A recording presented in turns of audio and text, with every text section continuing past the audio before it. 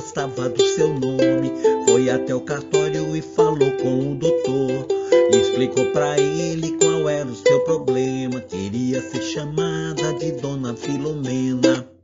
Afinal, todo mundo repetia: aranha, arranha o jarro e o jarro arranha, aranha.